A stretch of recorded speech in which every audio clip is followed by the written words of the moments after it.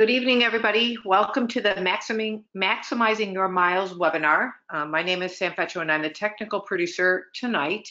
A couple of things before we get started on the webinar. You guys are all muted, but you will be able to ask questions by typing them in on the questions pane. Uh, you'll see that on the right-hand side of your control panel. Um, click the little triangle and then it should open up. Um, we will be stopping intermittently throughout the webinar for questions. Um, depending on how they come in, we might have to clump things together if the topic is the same, because we're kind of expecting a big crowd tonight. And I will turn it over to our two presenters and they can introduce themselves to you. Hi, everyone. Uh, my name is Emily Barclay and I'm here with my husband, Rick. Hello. Um, we are thrilled to be a part of Kappa's Lifestyle Learning Series. This is, I think, our fourth year um, doing a presentation for Kappa Um, and uh, really excited to share um, some tips and tricks and strategies with you.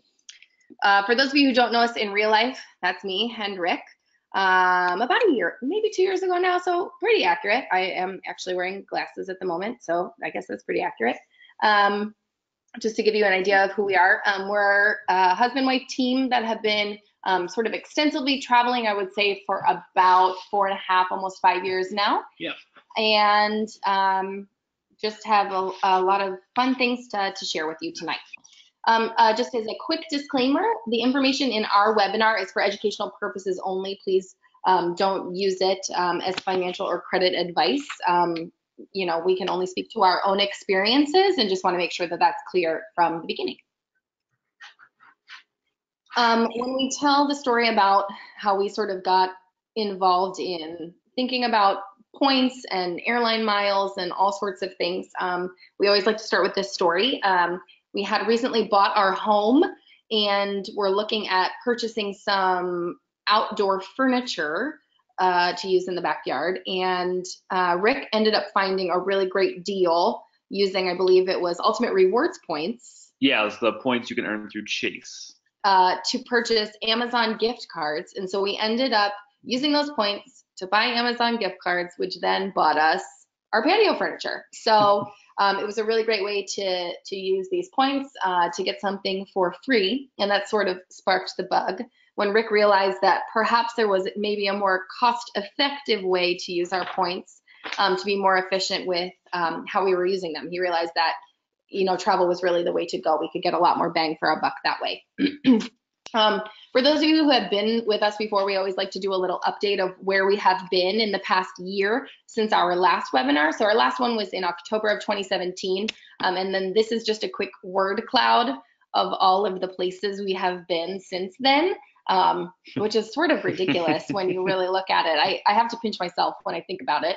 Um, all the places we've been able to visit um, in the past year. Uh, just a few quick pictures. Um, some of the highlights, we were able to go to Fiji last year for Thanksgiving. Um, we took a big trip to Europe at Christmas time. We went up to Santa Barbara in the spring um, and then went to Asia, Australia, New Zealand. Mm-hmm. Uh, this summer, we also uh, did some domestic stuff. We went to New York City uh, this year also and uh, St. Louis for some Cardinals baseball. Tonight, we're going to be talking a little bit about um, how we travel, how we do it affordably. Uh, we'll do a, a, quick peek of the, the latest trip that we were just on mm-hmm. um, and how we did that. Um, we'll give you some information about our favorite credit cards to use for travel um, and then how we go about planning our trips. We realize that a lot of people know that they have maybe credit cards or they know they have points, but they don't exactly know how to use them. So we're hoping we can give you some tips to think about when you're doing the travel planning. And then we'll also have time for questions and answers. Um, just some quick photos from our last trip. We were just in Portland over Labor Day weekend. Our anniversary um, is uh, always celebrated over Labor Day weekend, so it's a pretty great excuse for us to get to go on an anniversary trip every year. Um, we love Portland and have been a number of times, but uh, went again um, for our anniversary trip. So those were just some highlights that we had there. You're gonna have to excuse Rick. Um, we had Postmates sent over for dinner. We thought it would arrive in time. Um, he just went to grab it from from the guy. Um, he's going to be talking to us um, a little bit about how we did this by the numbers. And Ricky, watch out. Sorry if you can hear the click clacking of the dog in the background. Okay. So to give you a quick overview of how we would have done this weekend and how we made it more affordable. On the left-hand column, you can kind of see a projected cost of what a, a three-day weekend trip would cost. Um, we flew Southwest, so it'd be around $360 for two people round trip. Um, you know, LAX to Portland is is not a very expensive flight for us. And then we stayed at Airbnb. So we stayed at this person's house. We've stayed there a couple times, and it's only $50 a night, so three nights. So total, it would have cost again if we weren't using points around $510 just to do the flights in the Airbnb, um, just for the travel costs. However, what we actually paid, I should say, paid was um, on Southwest we used 12,000 miles, so 6,000 one way for Emily and 6,000 one way home for Emily. Um, I actually fly for free, and we'll get to that a little bit later and how that happens.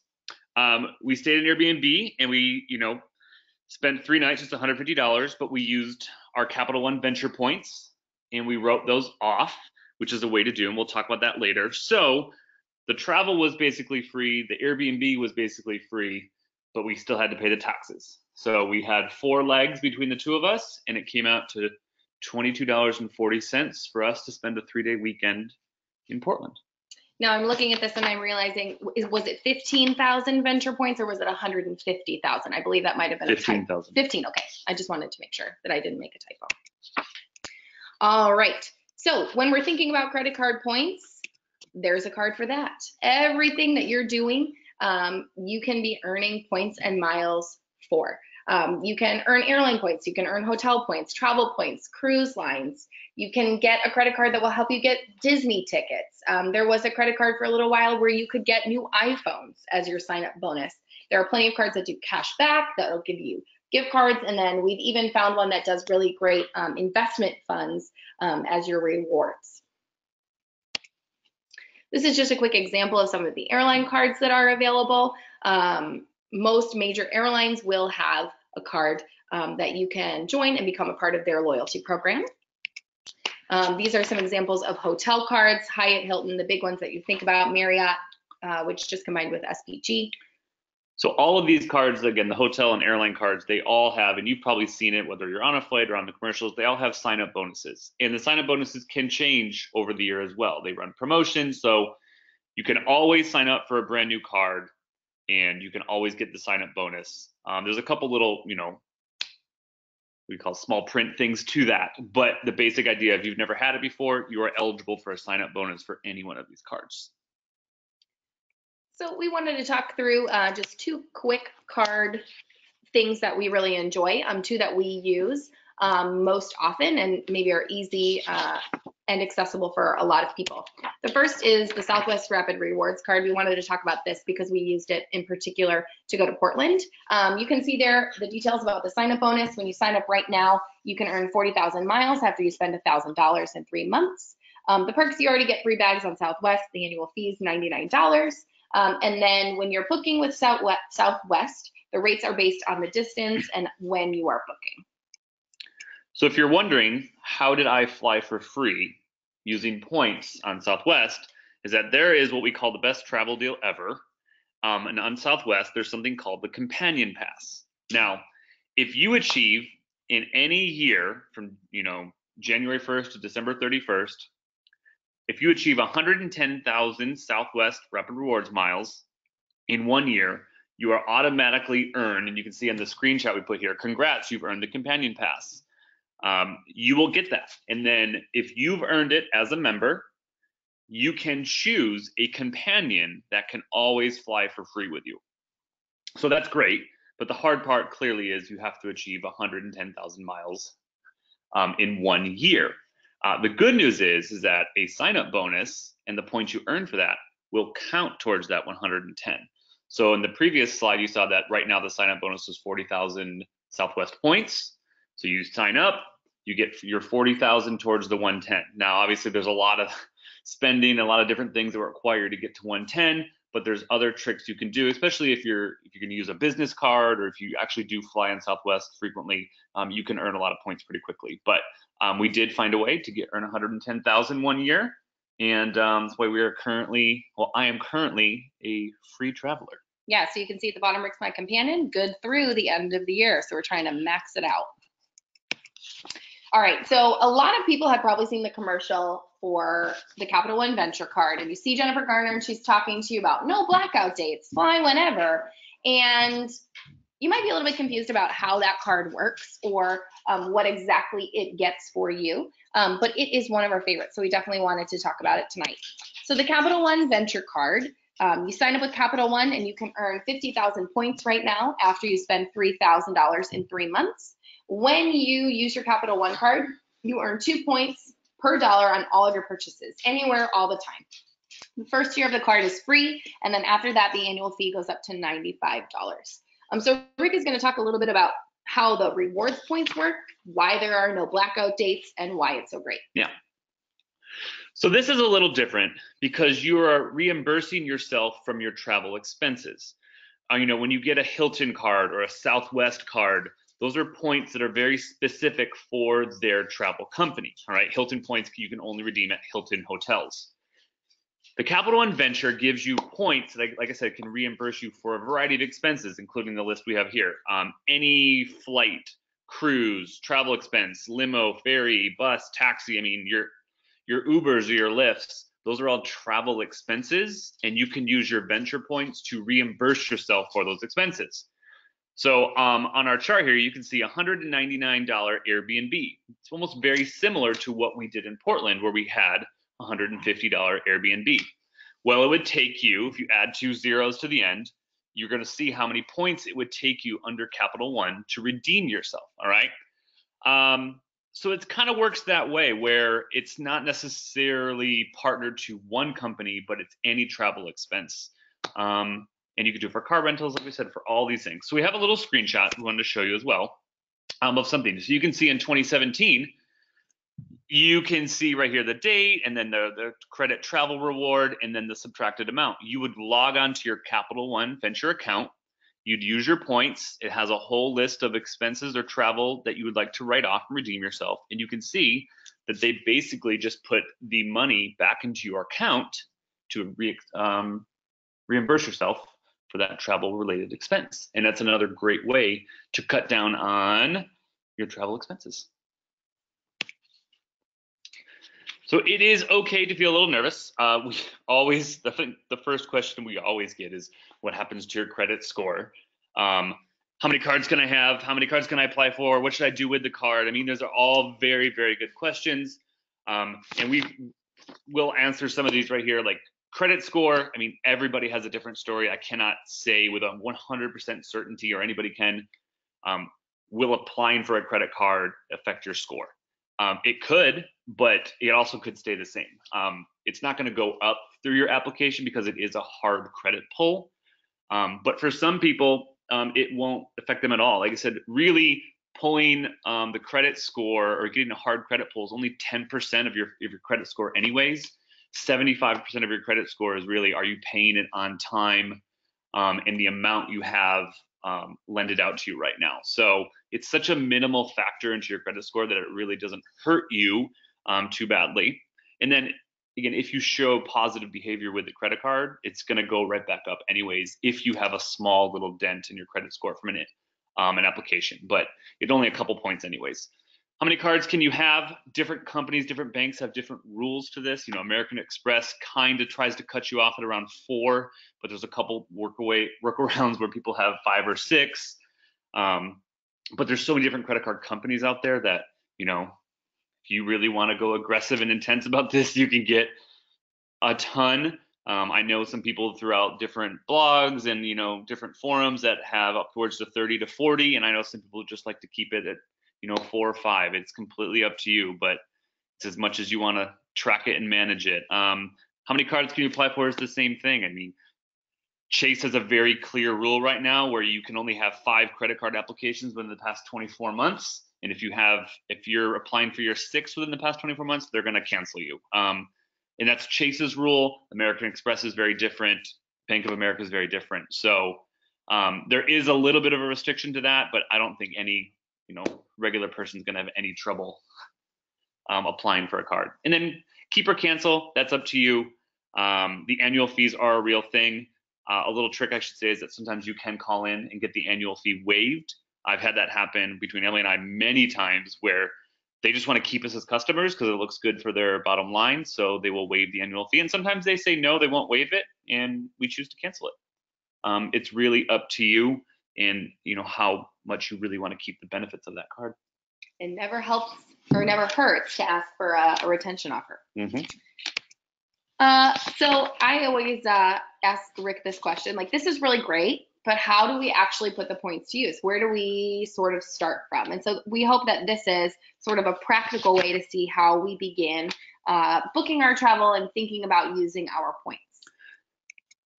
So we knew last summer, um, this previous summer, we were going to go to Asia, and we knew we needed to get to Asia. So we thought, okay, what's the best way?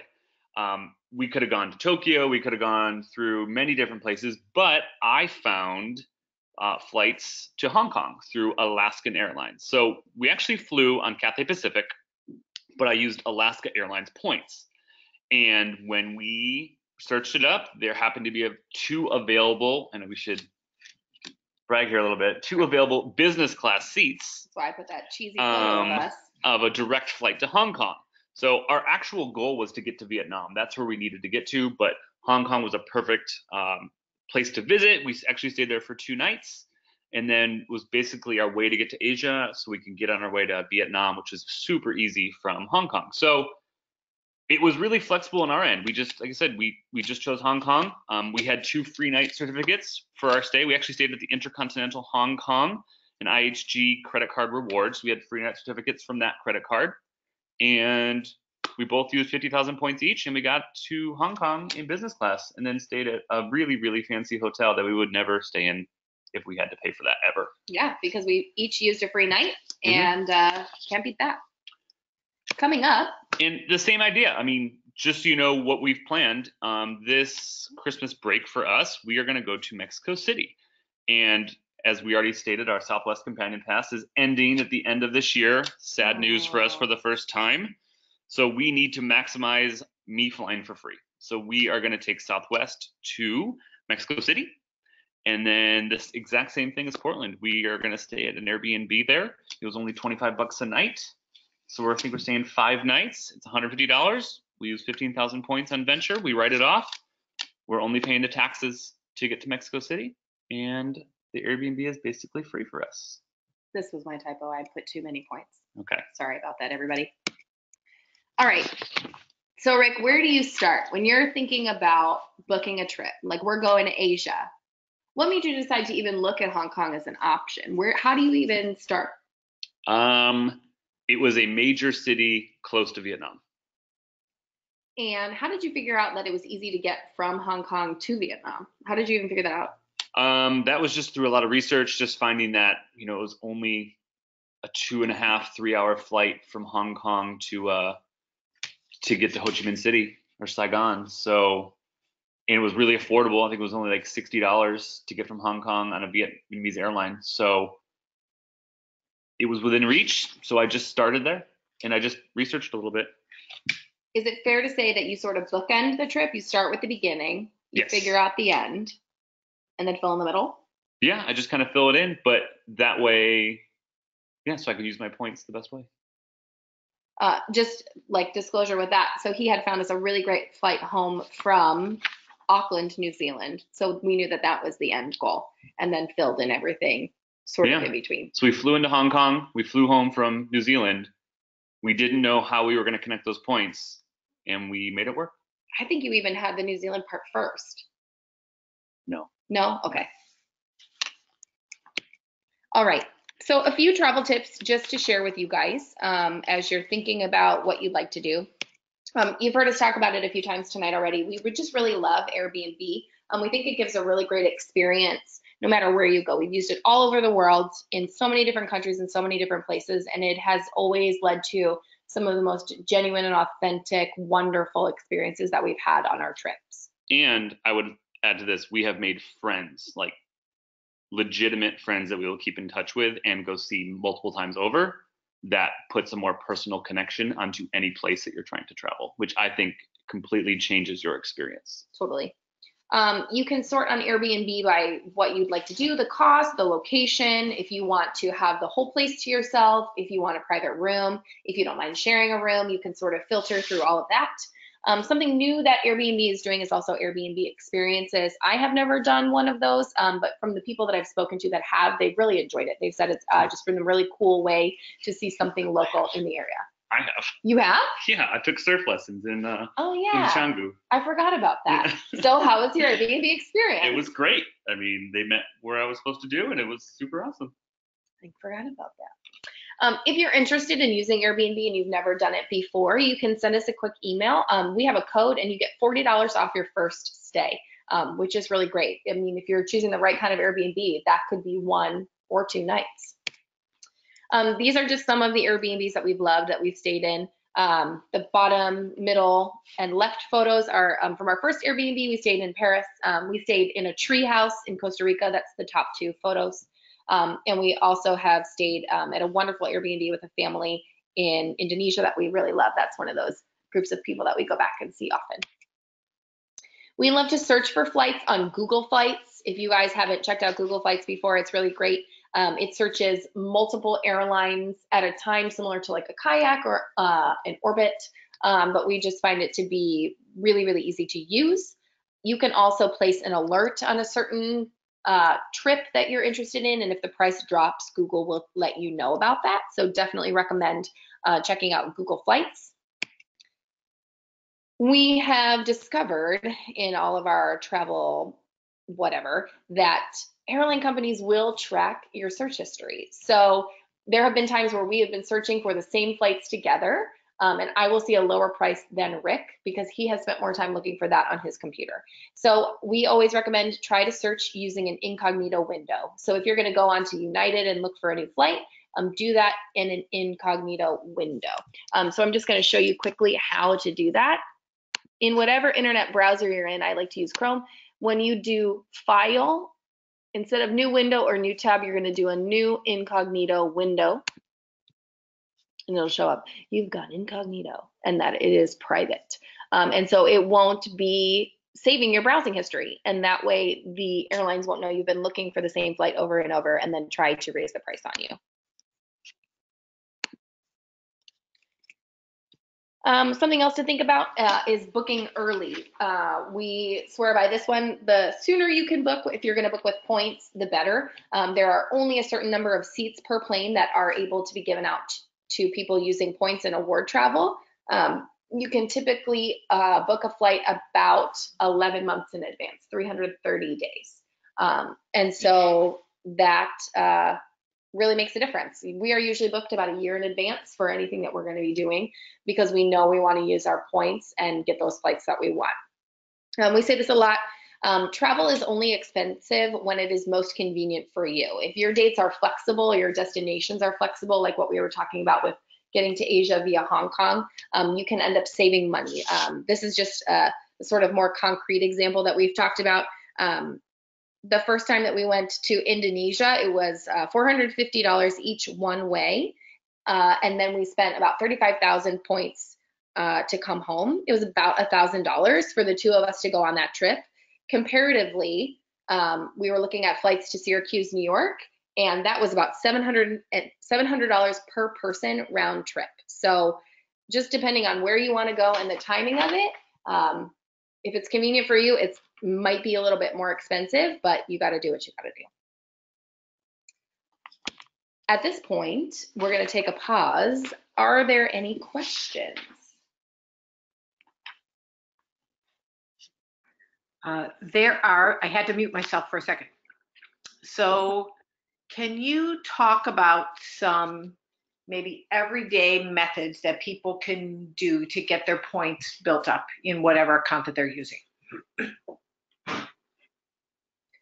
Um, one that I always say to people is, you know, we we always pay off our credit cards every month. We don't overspend, but we put all of our spending on the credit card. So groceries, gas, uh, restaurants, all that kind of stuff, we are putting on a credit card. We don't ever really use a debit card or cash unless we're going to the farmer's market, to be totally honest. So we're racking up points with every single purchase that we make.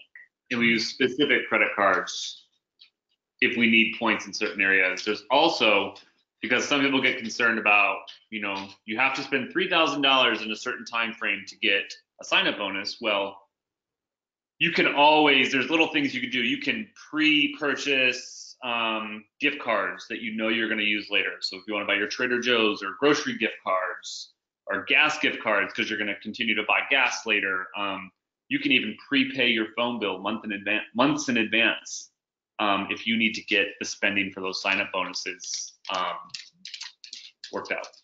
Yeah. Can you pay regular bills with credit cards? Some, yes, like we can do some of ours, but um, some of them cannot. Or they're going to charge me a fee, Yeah. and I would rather not pay the fee Mhm. to use a credit card. Yeah. Um, here's a question about the Southwest Rapid Rewards um, program and the, in the companion pass thing. So she says she opened the Southwest Rapid Rewards and a premier and premier business cards to get the 110,000 points for the companion pass. Now that she has it, can she cancel one of those Southwest cards without losing her points? Yes. That's awesome. The, the point, the points for those things are with your Southwest like um, Rapid Reward number. They're not part of the credit card anymore. Whatever you earn on the credit card goes into your own account that can't be removed. Mhm. Okay, that's awesome. Um, so here's um, a a question about the, when you were talking about how the credit card companies limit the number of cards. So when you say credit card companies limit the number of cards, do you mean cards through that one company or cards through any company? Um, typically, it's cards through the one company. Like I said, American Express will limit you to four personal um, cards. Um, and, and Chase, and like I said, Bank of America, Wells Fargo, they're all going to have that. The only place maybe you could get a little, um, they make it a little weird, is that if you have so many recent, like they're going to pull your credit report when you apply for a card, and if, if they see that you've applied for 14 credit cards in the past two months, they may say, we're going to take a hold on, we don't really want to offer you one right now. Okay, awesome. Um, and then here's another question that came in. Uh, what do you think about the points guy?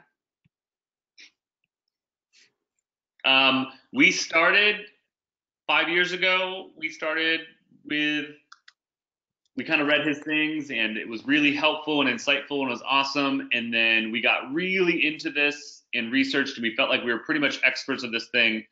And he was hiring. And I I have no shame telling this story is that we sat in Istanbul, Turkey, and we sent our applications to be bloggers and working for him. And we never heard back from them. But the next week, we saw our ideas. Part of the application was to pitch them ideas of things that they should do for content on their website. And then the next week, when we were traveling around, we started to randomly see our ideas that we pitched to him on their website.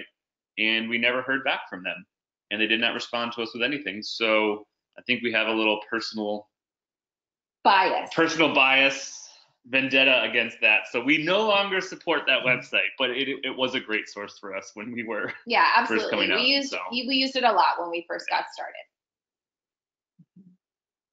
Okay, here's another question. Um, this person has both the Chase Sapphire Preferred card and the Southwest Rapid Rewards card. When she shops, she always pays with the Chase card, knowing that she can transfer these points to any other airline. Is that a good strategy, would you think? Or should she just be using the Southwest card if she specifically wants Rapid Reward points? Yeah, I mean the only the only benefit of using the Southwest card would be that you could potentially earn towards the companion pass. Um, but I do agree with you. Shopping with the Sapphire is probably smarter because there's more flexibility in where you can send those points. If you shop with the Southwest card, you're only going to get Rapid Rewards points. But I liked the um, the Sapphire one because I could transfer it to United, Korean Air, Singapore Air, hotels. I mean anything. So if you value the flexibility of your points, I would go Sapphire 100%. If you're going for that companion pass and you're close, I would definitely do the Southwest. Well, one of the things that I also noted recently, Rick, is that one of my hotel partner cards will allow me to transfer those points to the airline as well. So I wasn't necessarily going to be needing it to you get a hotel room, but it had a really big points bonus um, if I signed up for that card. So I thought that was a good deal too. Yep. Okay. So can you comment uh, about using a travel ag- agent? Can you use points if you're working with them? I don't. I wouldn't. I've never. Yeah. I've been so- the travel agent. The, yeah, we Rick's the travel agent um, for our family. Um, and I don't know if you've ever booked anything for anyone using points. We've booked things using money. Um, the only experience I have using a travel agent is through Kappa, um, and I know that she uses my like uh, frequent flyer numbers, but I don't think she's ever booked anything for, for with points for me. Um, so I don't know if we can comment. There are people out there that act as travel agents using your points. They they will they will charge you a fee to take your points and book you travel. So there there is a business for that out there. It's not huge by any means, but I, I think they have that. Don't quote me on this 100%, but I think they have that business because I think if you're going to use a regular travel agent, it's because they have um, access to fares and um, amounts that we are not privy to. Yeah, like better deals, Yeah. packages. This next one, I'm kind of drooling over the questions, the possibilities. So she writes, okay, you don't like the points guy. Is there anyone else that can help maximize membership miles and American airline miles? Here's the here's the clincher. I have over 400,000 points with each. So, what's the question? I, I, I don't remember the question. Like we're just here. looking So- for like a Is there resource. anybody else that could help her um, maximize her miles, like maximize using her miles?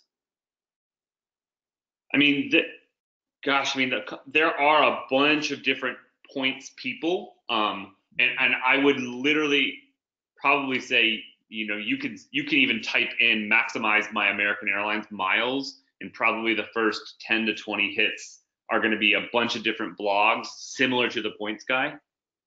um, that could help with that. But I mean, to be, cl- I, I don't think I've looked at those websites in now a couple years now because I feel like I've already have it in my head. Yeah. So, One that I used um, when I was looking at just to to check the sign up bonuses is there's a blog called One Mile at a Time, um, and I think their interface is really easy to use. You can like use a drop down menu to search the credit cards that are available. Um, you can search by type, hotel, airlines, rewards, points, bonus, whatever.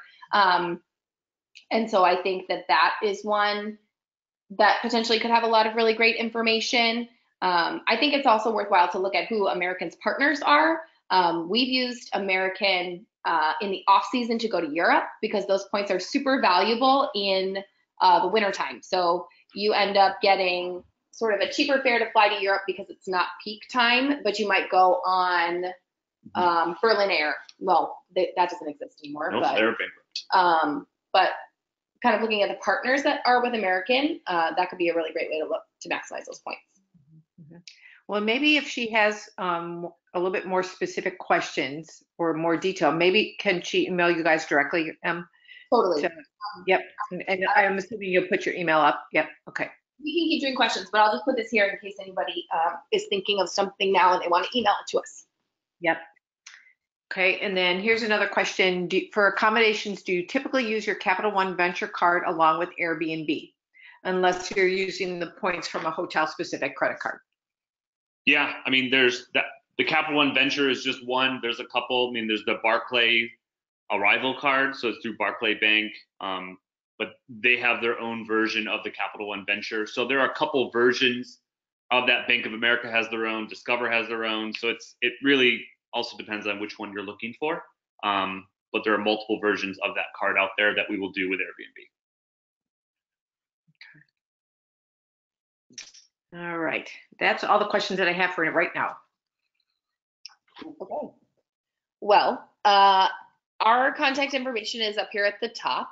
Um, if you want that Airbnb credit, like if you've never done Airbnb before and you want some money off because you want to try it, go ahead and send us an email and I'll make sure to get that over to you. Um, when we are on our travels, we do a lot of posting on Instagram. Um, particularly recently, I do a lot of Instagram stories. You can see um, my handle there. Um, that's basically us. Um, we sort of track and try to keep up with uh, our blog. I had really great intentions, and then we went to Southeast Asia where there wasn't great internet, and I lost, you know, my momentum. But um, a lot of the stuff that we've done in the past is on our blog, um, which is there at the bottom. Okay, any other questions, anybody?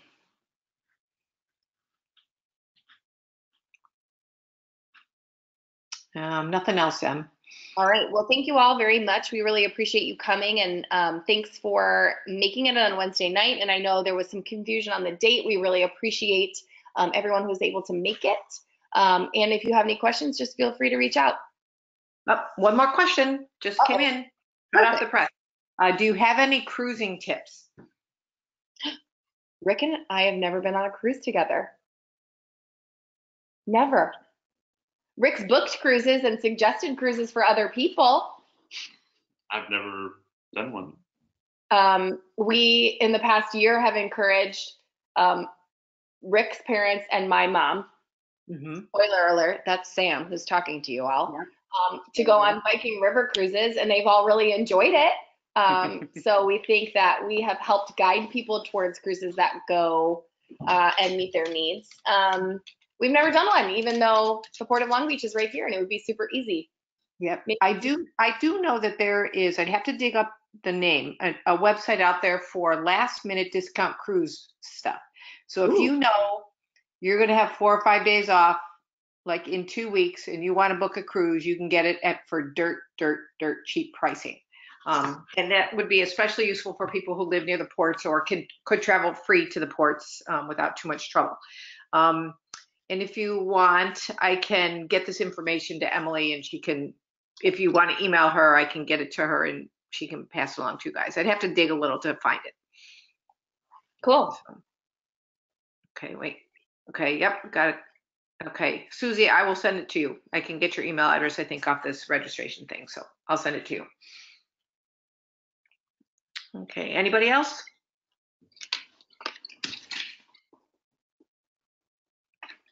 Awesome. Thanks, everybody. Appreciate your time tonight. Have a good rest of your evening. Thank you. Thanks.